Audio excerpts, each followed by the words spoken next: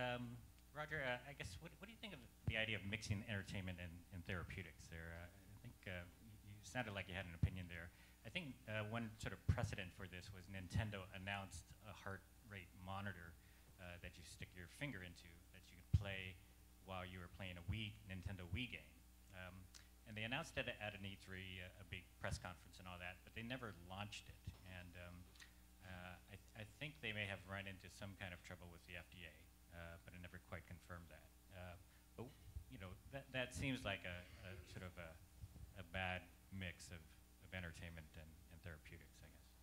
Well, I think uh, uh, certainly in the therapeutic area, to have something that's entertaining and fun is a big deal. I think it's a big a problem with many of the brain training companies. They're just darn boring to use.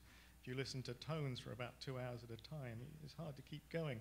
Uh, so I think brain, uh, brain training is an example where we can really add this whole element of fun and uh, entertainment whereas the goal at the end of the day is improvement, whether that's uh, uh, a therapeutic definition or you fly under the, under the radar screen of the FDA by just talking about quality of life measures. Uh, with regard to the Sony uh, sensor, at that time we were trying to start this company that, that would use uh, uh, pulse sensors but not just to measure pulse rate. That really doesn't tell you too much. You have to get more sophisticated than that if you really want to measure things like arousal and valence related to emotion uh, using heart rate variability and, and more uh, second order measures.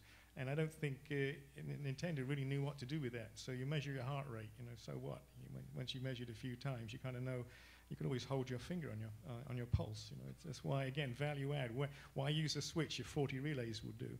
Uh, you know, that sort of concept. Uh, it has to be very useful. So if you're, if you're adding, if one is designing this in just for the point of view of adding another widget, uh, not necessarily it's bringing anything to the party.